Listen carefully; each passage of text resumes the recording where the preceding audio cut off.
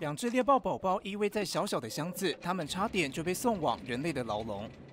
That valley down there is becoming known as the cheetah supermarket. That's because many of the trafficked cheetahs are being smuggled across this porous border with Ethiopia into Somaliland.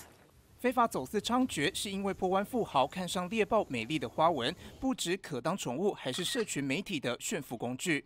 这些被囚禁在豪宅的猎豹，因为饲主不懂照料，生活不到一两年就死亡。People who have a cheetah as a pet are causing the species to go extinct. This is not how a baby cheetah should be living. Um, they need to be living out in the wild. 目前全球只剩七千五百只野生猎豹，是十年前的一半。这还不包含中东地区被豢养的一千只，每年还有三百头猎豹输往中东地区。正因为市场夯，民众只要上网就能下单订购。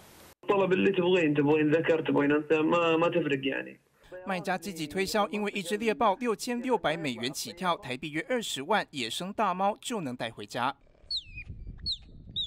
根据统计，二零一二到一八年间，网络就有一千三百六十七只猎豹被兜售的广告，其中高达六成来自沙地阿拉伯。Ownership and trading of wildlife is banned in most Gulf states. Enforcement is lax.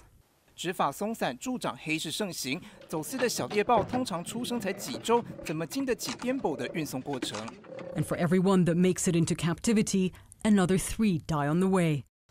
人类的猎奇欲望造成野生动物无止境的苦痛，只有杜绝买卖才没有伤害。大爱新闻周不先编译。